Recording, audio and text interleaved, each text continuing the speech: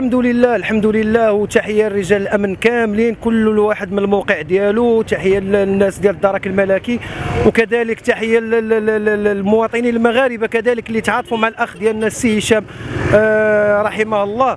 وصراحة إحنا فرحانين اليوم يعني بقدر الحزن اللي كان عندنا على على الأخ هشام. إحنا فرحانين الامن الوطني اللي استطاع أنه يلقي القبض على ذوك العناصر الإرهابيين اللي داروا ديك الكارثة. هي تعتبر كارثة بجميع المقاييس في حق المواطن والإنسان ورجل الأمن.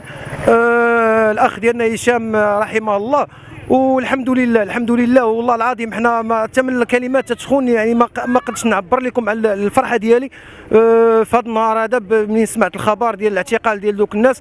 وكما قالوا عدد كبير ديال المواطنين حنا تنتمناو تنتمناو أن السلطات تاخذ فيهم أقصى العقوبات وهي عقوبة الإعدام وما كرهناش تكون الاعدام اللي أمام الملأ باش يتخذوا هاد الناس عبرة. لكل شخص ما يعني آه، سولت له نفسه أنه يؤدي هذا الوطن الحبيب برئاسة سيدنا الله ينصرو.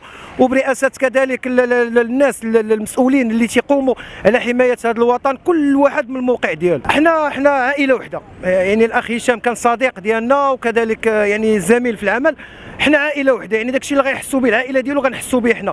أول حاجة كاينين بعض المواقع الاجتماعية اللي خرجت بعض التصريحات اللي هي آه لا ما عندها حتى شي أساس من الصحة كانت تقول بأن آه يعني لا داعي للكلام يعني فداك الشيء اللي قالوا هما يعني باين واضح فيما يخص خليلة ديال ديال المرحوم وكانت زوجه ديال ديال البزناز وهادشي. هادشي كله تيبقى غير شكلي حنا ما تنثقوا إلا ببلاغات رسمية من من من يعني آه الأمن الوطني والحمد لله اليوم اتضحت الصورة وعرفنا بأن الأخ هشام كما عاهدنا وكما عرفنا رحمه الله إنسان خلوق مؤدب يعني جميع الصفات الحسنة اللي هي في في, في المسلم أو المؤمن. الحسن كانت فيه ناهيك على العمل آه ديالو كرجل أمن.